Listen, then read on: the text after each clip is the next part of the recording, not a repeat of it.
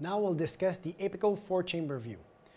If for the long axis and short axis view, you get better images when you turn your patient 90 degree to the left, for the apical view, usually what works best is to ask the patient to turn around 30 to 45 degrees left, so that increases the contact of the apex with the chest wall. And also you can ask the patient to put his hand, um, his left hand underneath his head because that will increase the space between the ribs and you really don't have a lot of space to work there. So it's going to be always small movement. Again, we'll try to approach this in a uh, stepwise manner. So your first concern should be to find the apex. So you have the marker roughly towards the left of the patient and you look at your patient.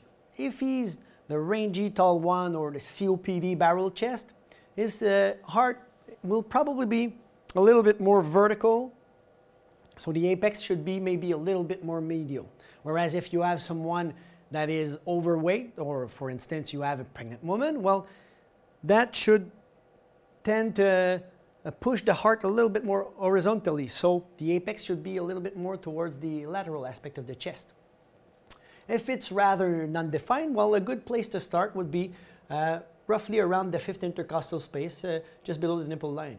You can also ask the uh, you can also palpate the apical pulse and just put the probe where you feel it. So let's try this. Marker towards uh, the left of the patient. And now my goal is to find the apex. So the first goal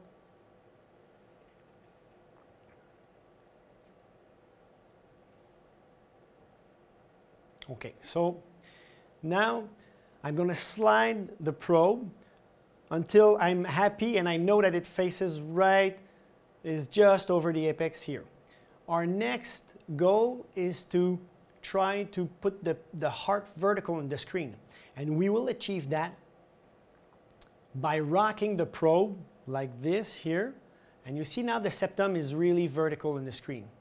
Our next step is to tilt the probe to try and find the best image where I can see really four chambers so that is the image we're trying to get. So in this plane of cut, we have the left ventricle, right ventricle, right atrium, left atrium,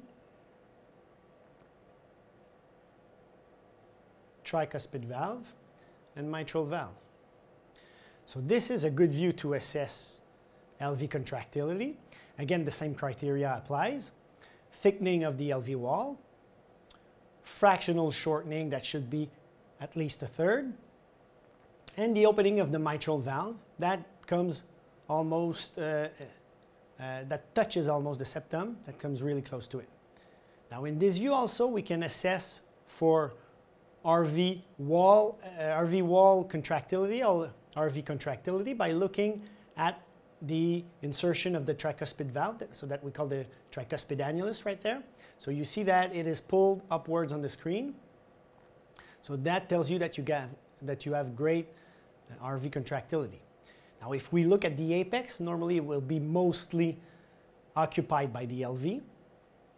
And when you have a dilation of the RV, it tends to progressively occupy the apex. In normal patients, you should have a ratio of RV to LV of around 0.6. There you go. So this is the plane of cut we're aiming for. Sometimes the plane of cut you will see is actually a five chamber view where you can see the outflow tract of the right ventricle, of the left ventricle right there. So when you see this plane of cut, what you need to do to get a good four chamber view is to actually tilt the probe and lift the, the handle of the, the probe like this here, and then you'll obtain your four chamber view. So five chamber, four chamber like that. A lot of the time in the um, in workshops, what we see is people that try to get the best image, but they're not exactly at the apex and then they focus. So really remember, try to get really at the apex because this is where you'll have the most contact on the chest of the wall. And also remember that once you add the apex, rock the probe to put the heart vertical and then tilt until you get your best view. One difficulty that we often see is that the space between the ribs, like I said before, is kind of small.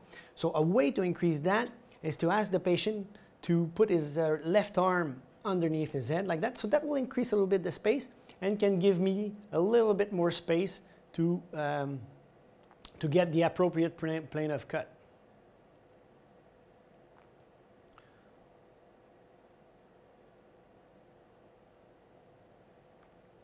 The other thing that we need to realize, for instance, is that when I tilt the probe, if this is the ribs here, often I will bump into a rib.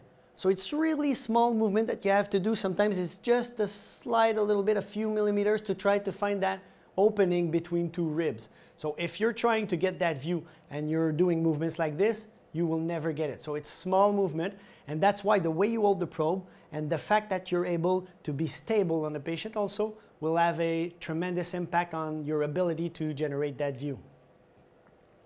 So most of the time, by combining the information that we have on the long and short axis with the apical view, we're able to find out what's going on in our sick patients.